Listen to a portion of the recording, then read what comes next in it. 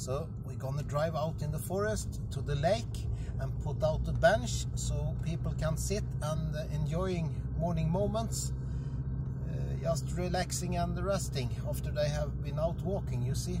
It's a very popular place for older people and younger people to walk. So I'm gonna show you amazing place to put out this bench. So we're getting closer.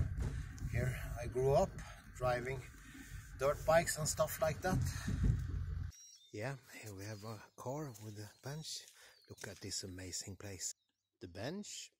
Now we're gonna carry this to a nice place. Gonna show you. So guys what do you think? Amazing place just to rest